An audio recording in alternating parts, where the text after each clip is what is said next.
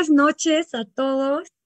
Mi nombre es Carla Ramírez, soy licenciada en fisioterapia egresada de la Facultad de Medicina de la UNAM y agradezco el espacio de Deporte UNAM para dar este tema tan interesante y tan importante en estos tiempos. Y bueno, pues también quiero agradecer al equipo de eSports FACMED, que son los pioneros en este proyecto eh, especialmente quiero darle las gracias a nuestros capitanes Arturo y Jime que han estado ahí apoyándonos y haciendo que todo esto sea posible. Espero que les guste mucho el tema. El tema se llama ergonomía en los videojuegos. Y pues antes de, de cualquier cosa, les voy a empezar a transmitir como tal la presentación.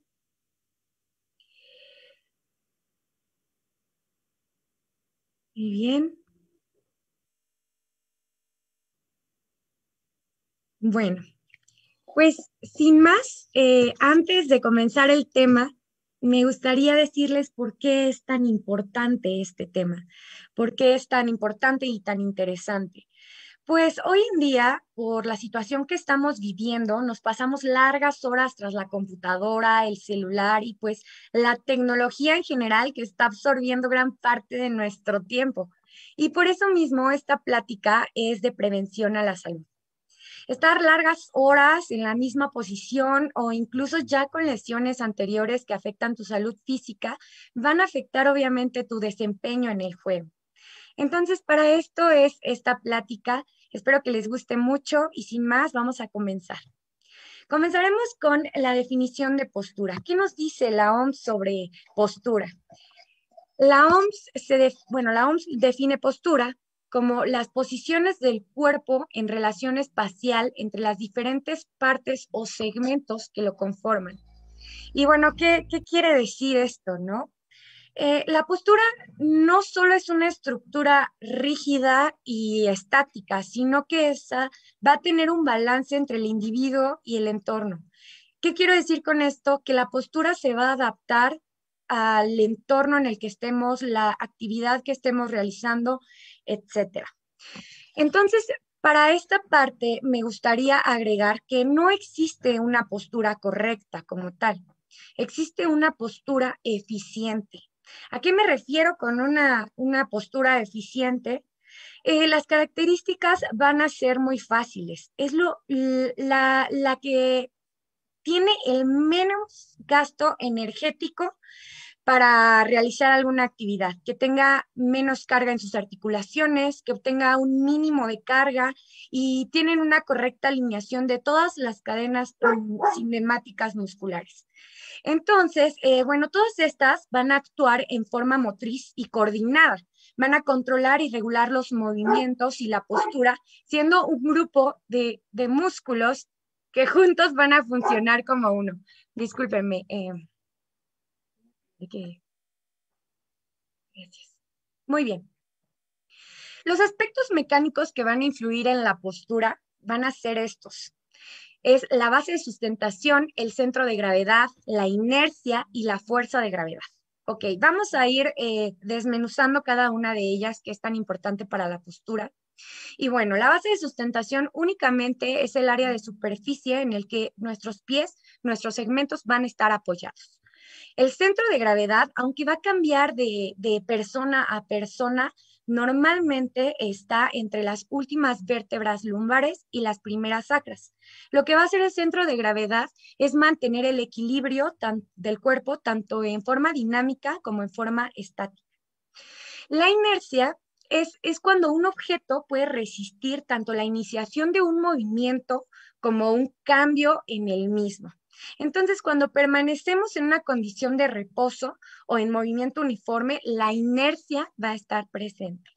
Y la fuerza de gravedad, sin más, pues únicamente se refiere a la atracción que va a ejercer la Tierra sobre los cuerpos. Esta fuerza va a ser constante, va a ser unidireccional y va a actuar en todas las partículas de nuestro cuerpo.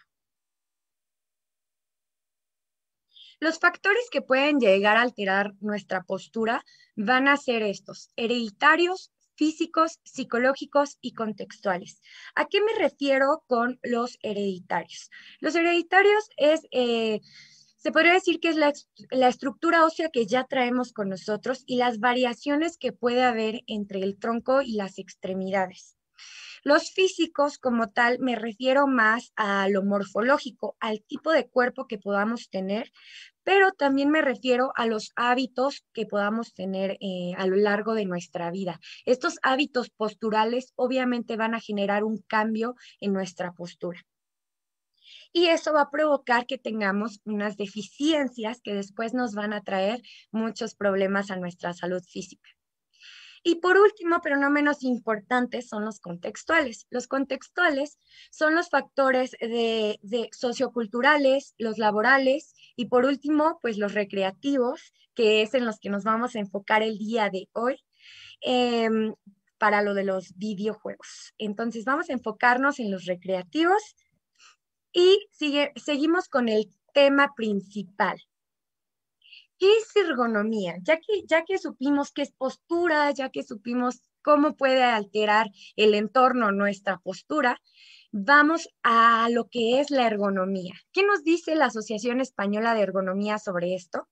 Es el campo de conocimientos multidisciplinar que, que perdónenme, ay, se trabó, que estudia las características, necesidades, capacidades y habilidades de los seres humanos, analizando aquellos aspectos que afectan al diseño de productos o de procesos de producción. Y bueno, ustedes así como de, ¿qué dijo? ¿Qué dijo Asociación Española de Ergonomía? Explíquenos. Pues nos vamos a quedar únicamente con que es el estudio de, de las condiciones de adaptación de un lugar de trabajo, una máquina o hasta un vehículo que estas características se adapten a las características físicas y psicológicas del usuario. Es únicamente con lo que nos vamos a quedar. Muy bien. Entonces, los temas principales de ergonomía, los que más vamos a tomar en cuenta el día de hoy, es la demanda energética que nos da la actividad. Nosotros al momento de estar jugando videojuegos, pues obviamente no tenemos una demanda energética muy alta. Pero ahora agréguenle que no solamente jugamos una hora, sino que jugamos hasta tres horas, cuatro, si no es que hasta más. Entonces, eso obviamente a elevar la demanda energética. Por eso mismo tenemos que trabajar en la parte ergonómica. Las posturas, los movimientos realizados, la manipulación manual de cargas y las fuerzas aplicadas también es un tema súper importante. Las condiciones ambientales, ¿a qué me refiero con las condiciones ambientales? Me refiero al ruido, a la temperatura, la humedad, la iluminación y hasta vibraciones que puedes llegar a, identificar en tu entorno. Esto puede llegar a afectarte o a beneficiarte en el juego. Entonces, no olvides tomar en cuenta estas condiciones ambientales. Las condiciones organizativas es, mm, bueno, estas son más importantes todavía. Bueno, todas son importantes, todas son importantes. Las organizativas, nosotros seguramente laboramos, estudiamos y también jugamos. Entonces, en esta parte lo único que nos queremos referir es que tengamos un horario, nuestras pausas, nuestros ritmos, nuestra jornada laboral, nuestra, nuestra jornada académica y de juego que estén totalmente en un orden. La siguiente y no más, no, no menos importante, pero tal vez sí la más interesante, es la interacción persona-máquina. Y bueno, ¿a qué me refiero con esto? Eh, la evolución de los controles y de las consolas y de las máquinas han ido avanzando en diseños cada vez más ergonómicos. Y esto, obviamente, eh, por ejemplo, la cantidad de comandos que ahora es necesaria por la complejidad de los juegos, entonces esto ha provocado que las empresas tengan que adaptar sus, sus controles, sus consolas, a la mejor forma de que nosotros como usuarios no tengamos lesiones. ¿Y por qué les digo esto? Pues estuve investigando un poquito sobre el primer videojuego y pues me encontré con que jugaban con un control como este.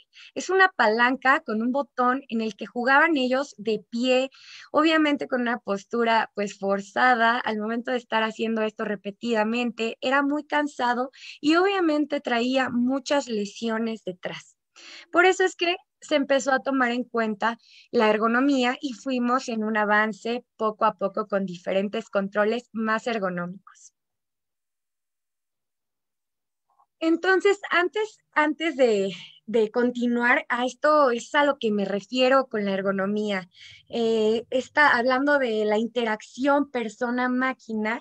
Las máquinas han evolucionado de acuerdo a nuestras necesidades.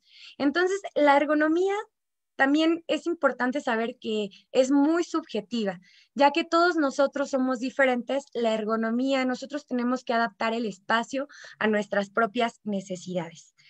Les voy a poner un ejemplo así súper rápido de Xbox. El primer control de Xbox eh, era muy grande, muy, muy grande. Entonces, las, las personas con manos pequeñas no podían jugarlo o se les hace muy incómodo jugarlo y los niños no podían jugarlo. Entonces, obviamente la empresa empezó a ver este tipo de situaciones y hacerlos un poco más pequeños.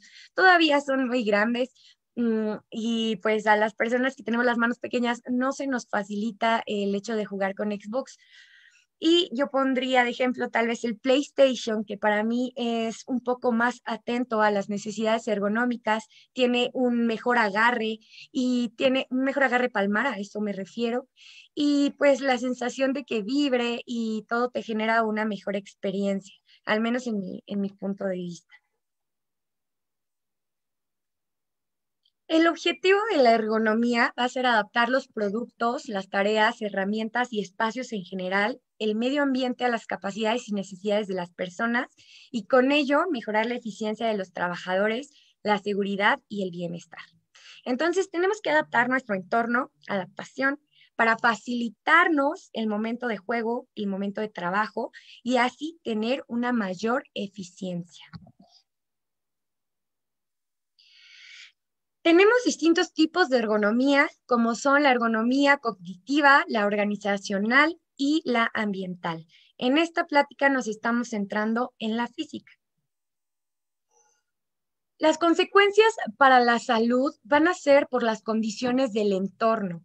Si nosotros tenemos unas condiciones del entorno en las que no, no tenemos ninguna exposición a factores de riesgo, ah, bueno, pues la libramos y ya no vamos a tener un riesgo ergonómico. Pero si nuestras condiciones del entorno no son del todo buenas, vamos a generar una exposición a factores de riesgo y esto nos va a provocar un riesgo ergonómico. Los factores de riesgo van a ser la manipulación manual de cargas, ahí me dicen si sí la tienen o si no la tienen. La adopción de posturas forzadas y la repetición de movimientos. El riesgo ergonómico como tal es la posibilidad de que el usuario sufra daños a la salud derivados de jugar videojuegos.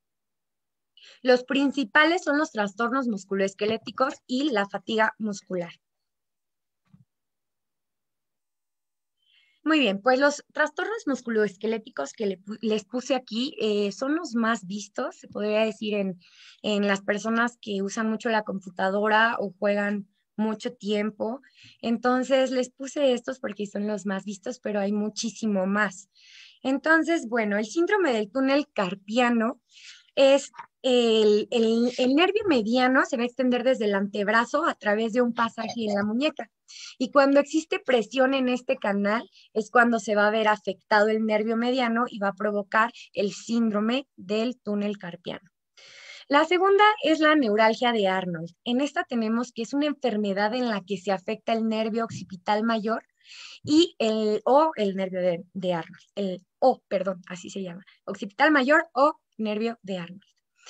Entonces, em, pues aquí hay que cuidar mucho la posición de nuestro cuello. Ahorita lo vamos a checar qué posiciones ergonómicas son las mejores para evitar este tipo de lesiones. Justamente en la neuralgia de Arnold quise poner esta imagen. Em, aquí dice que es el, el peso que soporta el cuello según la inclinación de la cabeza. No es tanto la inclinación de nuestra cabeza. Tú puedes inclinar tu cabeza y hacer ejercicios y liberar, pero si nosotros estamos en esta constante posición, todo el tiempo estamos en esta posición, mucho tiempo, con demasiada intensidad, pues obviamente nuestros músculos, que son los que reciben el peso, van a, ay, perdón, se me fue la palabra. van a resentir, van a resentir la carga.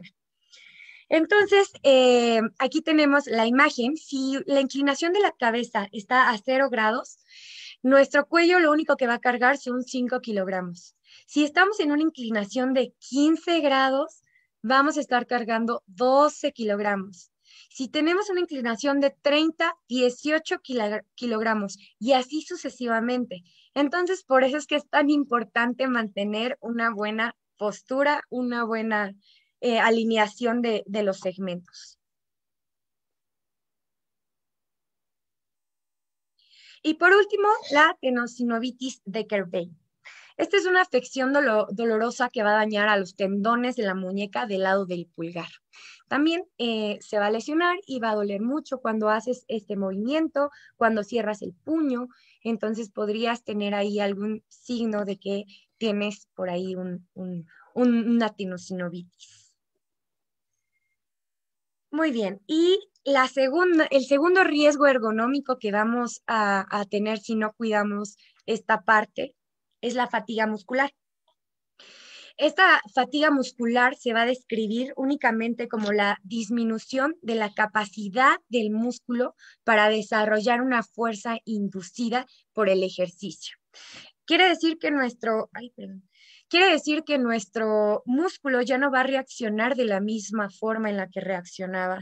Entonces, algunas de las características de este, de este riesgo ergonómico es la disminución de la capacidad física, el cansancio generalizado y la disminución del rendimiento en calidad y cantidad.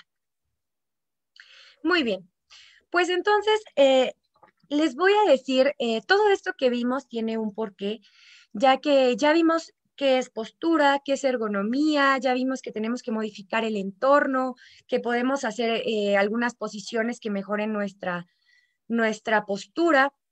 Entonces, ahora yo les quiero hablar un poquito de lo que son estas posiciones. Primero se las voy a mostrar para que ustedes tengan el screen o la foto, más bien la foto de, de lo que son estos ejercicios. La primera es eh, cómo tiene que ir el monitor. Nuestro monitor tiene que ir en esta justo, justo esta altura de un cuarto arriba de nuestros ojos para que nuestro cuello precisamente no tenga la carga de hacer hacia arriba si nuestro monitor está demasiado arriba o si nuestro monitor está demasiado abajo, tener que cargar ese peso. Nuestra silla debe ser reclinable, de preferencia, si no la tienen, no se preocupen, y el monitor debe ir un poquito hacia atrás. La siguiente es únicamente la, altura, la distancia que tenemos que tener entre los ojos y el monitor. Es un brazo de distancia. Ahora, los hombros tienen que ir eh, relajados, totalmente relajados. Nuestro, nuestro apoyabrazos tiene que ir en un ángulo de 90 grados, aproximadamente 95 grados, para que no, no tenga la presión en el, en el codo ni en, una mala posición de la, del antebrazo. Bueno, en esta otra imagen tenemos la cadera super alineada con las rodillas y los pies apoyados en el piso, totalmente apoyados en el piso. Y bueno, ah, bueno, el ángulo de flexión del antebrazo tiene que ser de 95 a 105 grados aproximadamente. En la postura de tomar el ratón o el teclado, lo único que vamos a buscar es que nuestra muñeca esté en posición neutra. Entonces, vamos a seguir, después de enseñarles prácticamente lo que es las posiciones ergonómicas de una forma práctica, precisamente para que ustedes lo hagan en donde lo estén viendo, estén viendo la transmisión, em, para que ustedes lo hagan conmigo. Vamos a seguir, después de las posiciones ergonómicas, nos vamos a las pausas activas, ¿ok? Las pausas activas son muy importantes. Quiero que les saquen un screen y que lo pongan ahí en su escritorio y, digan, estas pausas activas las voy a hacer después de jugar. Ahora tienen que tener muy presente qué tipo de jugador eres para este tipo de, pausas activas, porque si eres un, jugador casual y juegas de una hora a tres horas al día, bueno, tienes que hacer por lo menos, no sé, tal vez unas dos pausas activas. Ahorita les voy a decir bien, bien los detalles para que lo vayan identificando. Es el casual que dura, que juega de 3 a 4 horas. El, el streamer que hasta 5 horas se la pasa jugando y el competitivo, pues ni hablar, casi 10 horas. Entonces no sé cuántas va a tener que hacer de pausas activas. Así que espero que le hayan, tomando, ah, le hayan tomado el screen para que lo tengan ahí presente y lo puedan realizar. ¿Vale?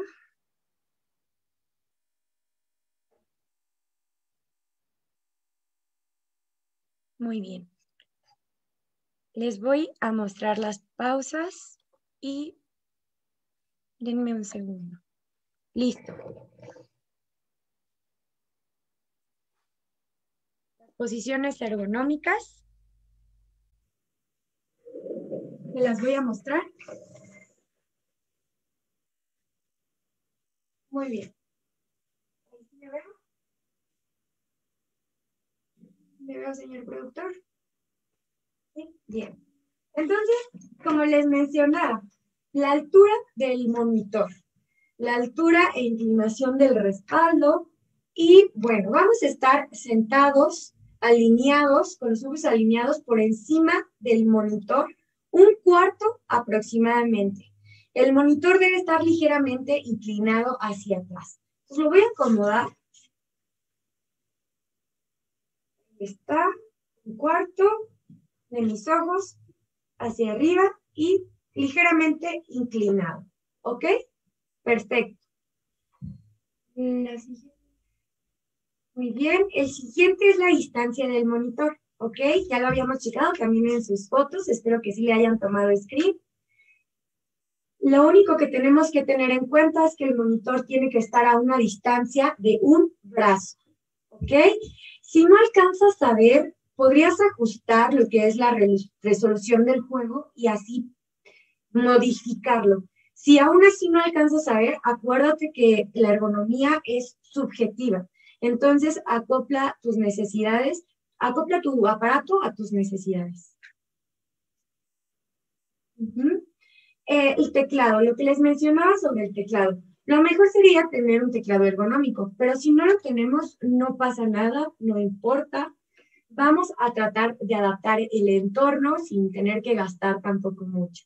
Entonces, lo único que tienen que hacer o lo único que hace el teclado ergonómico es mantener su muñeca en posición neutra. Entonces, vamos a agarrar un trapito, lo que tengan en su casita, y de esta forma van a ponerlo debajo de su muñeca para que esté en una posición neutra. Y así más fácilmente pueden mantener la posición sin forzarla. Muy bien.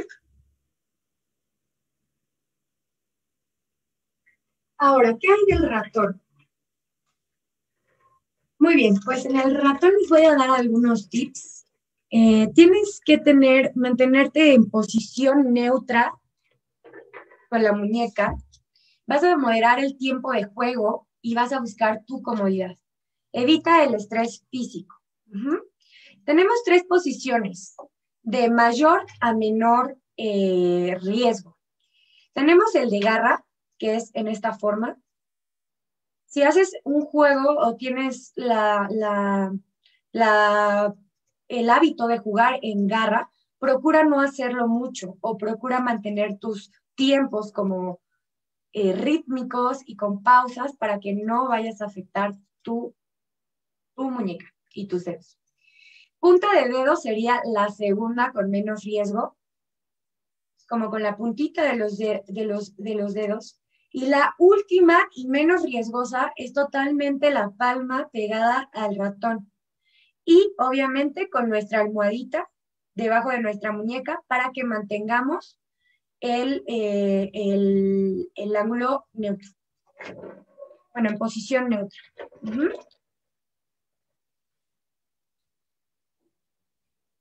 Muy bien, vamos con el ángulo de la silla. El ángulo de la silla debe estar entre 90 y 100 grados. El soporte lumbar tiene que estar presente. Si no tenemos un soporte lumbar, no se preocupe. Con una almohadita que tengan en su casita, únicamente la ponen de este lado. Ahí yo tenía mi chiquita por acá. Y ya es una bien grandota. Esta es la ideal, suave, y se tiene que adaptar a tu columna. Muy bien, es tu curvatura natural y tienes que cuidarla para que no se lesione. También encuentra la posición neutral de la columna vertebral, teniendo en cuenta que el soporte lumbar o el respaldo se va a ajustar adecuadamente. Reclina ligeramente la silla para liberar la presión. Esta no es reclinable, pero si ustedes la tienen reclinable, pues mucho mejor.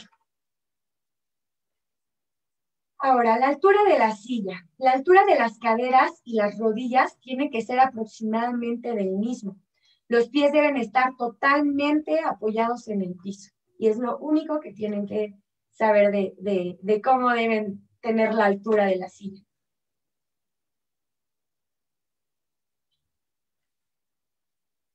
El apoyabrazos y el cojín del asiento, ok, en esta parte yo les recomendaría que así como adaptaron un cojín para su espalda,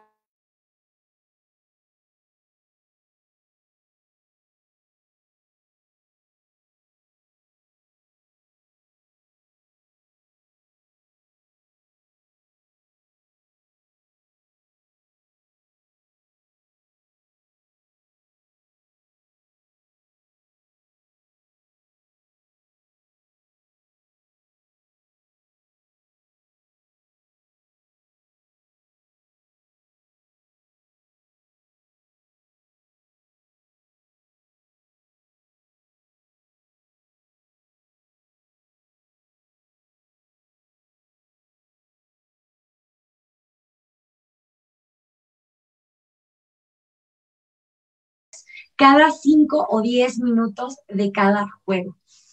Entonces, sin más, vamos a empezar con las pausas activas y listo. Venga. Vamos a empezar a mover el cuello hacia arriba. Quiero que lo hagan conmigo, por favor. Acuérdense que primero fue la teoría y lo segundo es que quiero que ustedes lo hagan conmigo para que si tienen alguna duda de algún ejercicio o de todo lo que hemos visto, lo veamos en un momento. Vamos a tener movimiento de cuello. Voy a hacer cinco repeticiones de cada uno.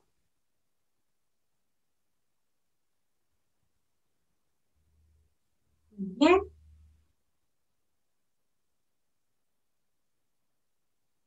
Muy bien, vamos a estirar un poquito el cuello.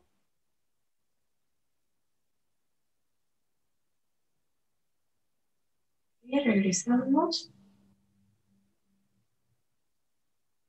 Bien.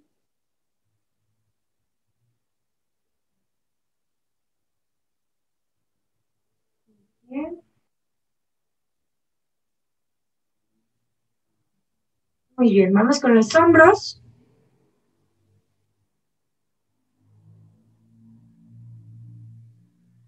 Adelante.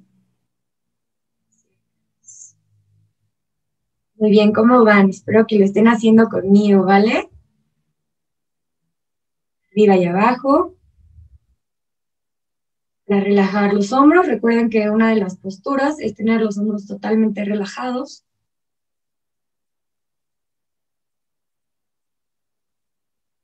Muy bien. Cabeza hacia atrás.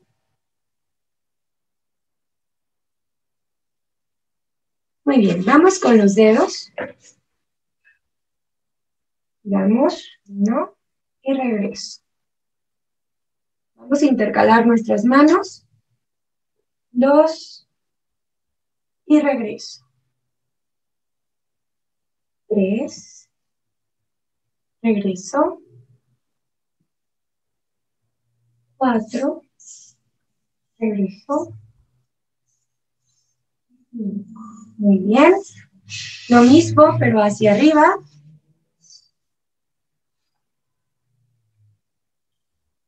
Bien.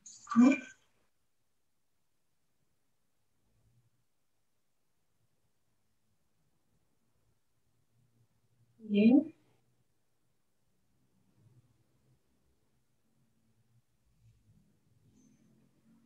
Espero que sí lo estén haciendo y que estén disfrutando, porque la verdad, aparte se siente súper bien estar estirándose y haciendo este tipo de ejercicios. Aquí tomamos el codo y lo jalamos. ¿Ok? Del otro lado, mismo, tomamos nuestro codo y jalamos.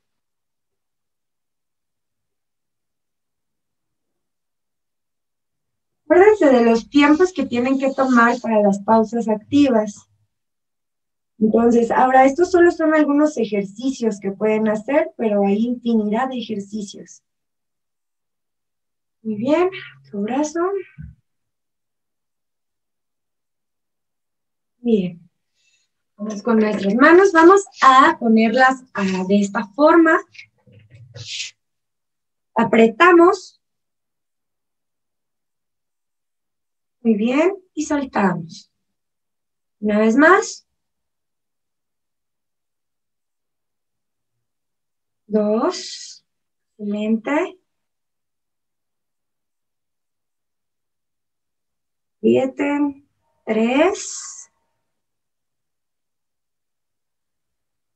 cuatro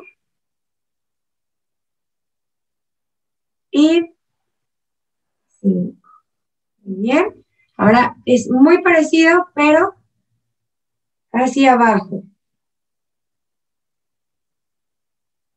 ¿No? Vamos. Dos. Muy bien. Otra vez tres, cuatro y cinco. Muy bien, brazos arriba. Uno y dos. Uno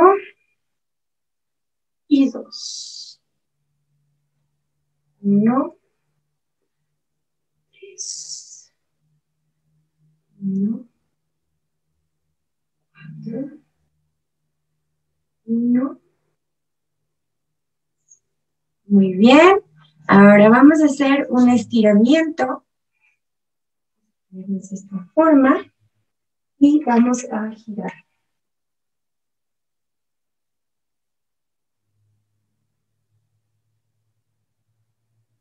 Y del otro lado.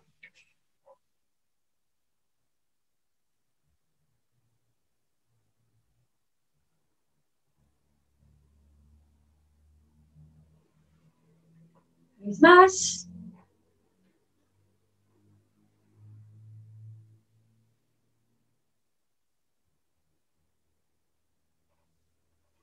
Bien.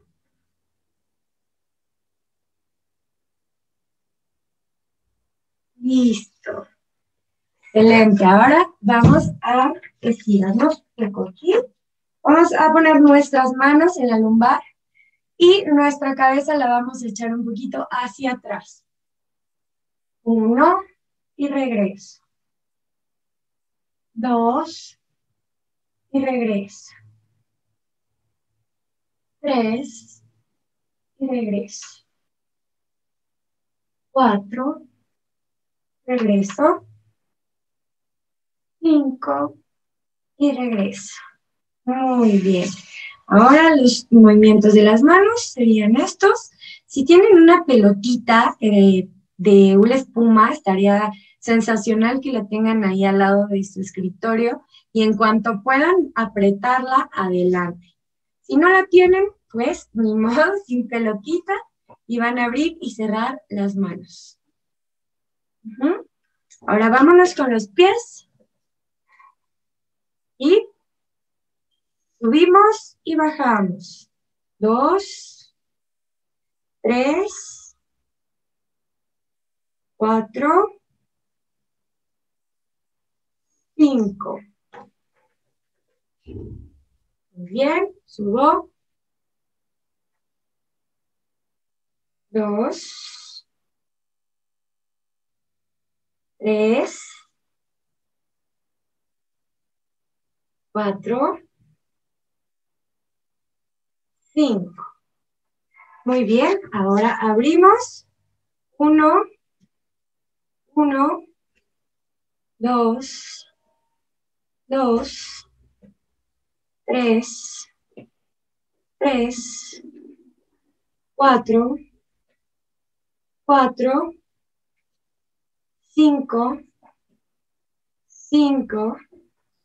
Listo. Ahora puntas. Dos y talón.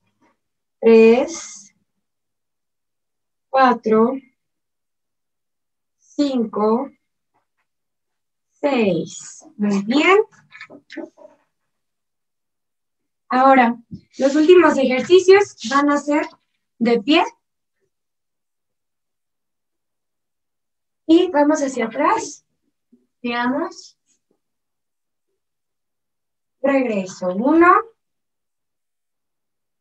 Intercalo los dedos y hacia atrás.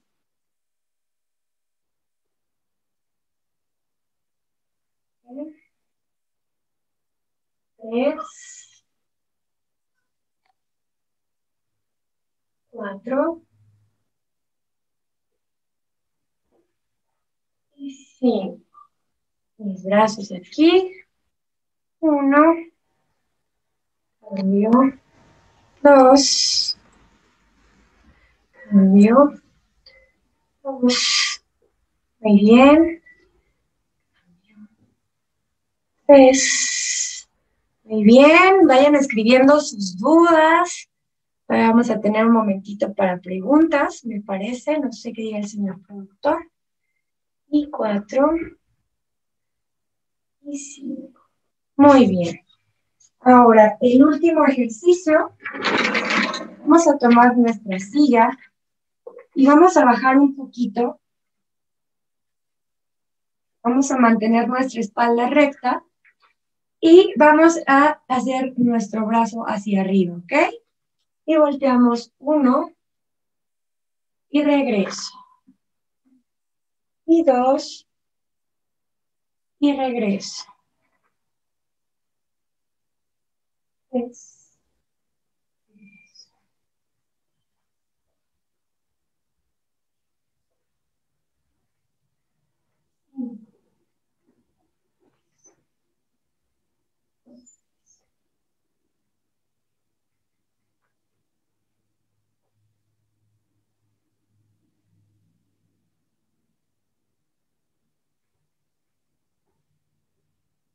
Muy bien. Pues listo, estos serían como algunos ejercicios de pausas activas. Entonces me gustaría ahora escucharlos y saber qué es lo que, lo que piensan al respecto, qué tal les pareció, si les gustó, eh, qué opinan. ¿Cómo ven? Voy a ver sus comentarios, ¿eh? Discúlpenme. Espero que les haya gustado mucho que estén interesados en el tema como tal. Y pues muchísimas gracias de verdad por estar aquí conmigo, por acompañarme. Eh, es, una, es una muy bonita experiencia y pues quiero dar las gracias a actividades deportivas, FACMED, a Deporte UNAM, al equipo de esports FACMED por esta oportunidad y este gran tema que pues es muy importante hoy en día, ¿no? Pues permítanme tantito, déjenme ver. Si hay preguntitas por ahí. Déjenme checarlo.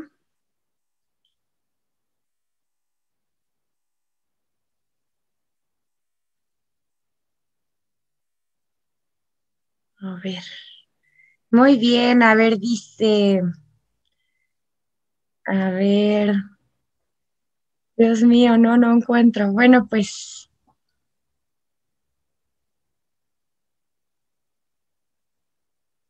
A ver, aquí hay una pregunta. Dice, si me duele la espalda después de una sesión de juegos, ¿debo acostarme o solo sentarme con buena postura?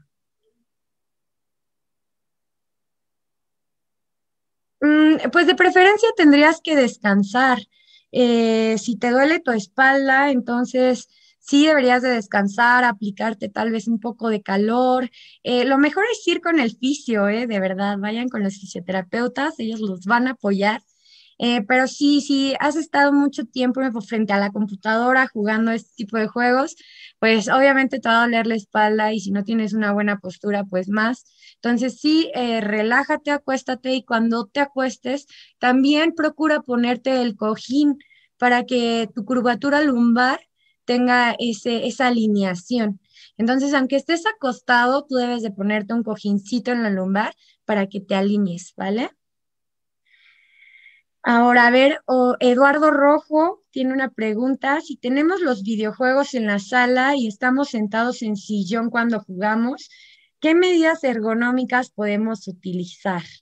Muy bien, pues las medidas ergonómicas para el sillón serían casi las mismas que para un escritorio. Eh, tienes que tener los pies apoyados, tu, tu, tu tronco debe estar alineado, igual tu curvatura debe estar apoyada con el cojín recto, trata de no inclinar tu cabeza hacia arriba. Hay que checar qué tan alta está la tele, qué tan arriba o qué tan abajo, para que la puedan poner en un lugar exactamente en donde su cuello no se vaya a lesionar. Muy bien, a ver, ¿alguien más? Déjenme checar. Ay, no cargan mis, mis, mis comentarios. A ver, Fer Rodri dice, si truena el cuerpo durante las actividades, está bien. Si te refieres a los ejercicios, si los hiciste conmigo y te empezó a tronar todo y súper crujiente la cosa, pues mm, no debería de ser, pero dentro de lo que cabe sí es normal. Y pues qué bueno que te relajó, porque eso quiere decir que te relajó, que pudiste, em, eh, pues eh, tus, tus articulaciones pudieron tomar un respiro. Eso es a lo que voy. Entonces, sí, es, es realmente dentro de lo que cabe normal que cuando hagas este tipo de ejercicios te truene. Así que está bien. Violeta Fortanel Morales. Muchas gracias, Violeta, por estar todos muy bien. ¿Crees que los mismos ejercicios sean recomendados para los dentistas? Uf, claro, claro, pero o sea, los, los, ejercicios sí, pero las posiciones ergonómicas no tanto. Los ejercicios sí, sí les sirven también a, las, a los dentistas, ya que ellos pues también están en unas en posiciones prolongadas, en una misma posición de forma prolongada. Entonces, mientras tú hagas tus pausas activas, mantengas tu horario, tus ritmos, todo eh, organizado, entonces va a estar súper bien y no vas a tener ningún riesgo ergonómico. Eh, aquí un nombre raro que no lo vamos a no sé cómo pronunciarlo. Em, ¿Qué recomiendas para el brazo? Ya que con poca sensibilidad en el ratón, tengo que mover muchísimo el mouse y me duele un poco. Ok, si te duele tu brazo, tienes que ir con el fisio, ah, tienes que ir con el fisioterapeuta para que te revise, para que te pueda decir cuál es el tratamiento, porque si tú ya tienes síntomas de que te está doliendo, pues entonces tiene que hacer varias pruebas para prevenir que sea algunas de las, de las lesiones que vimos hace un ratito.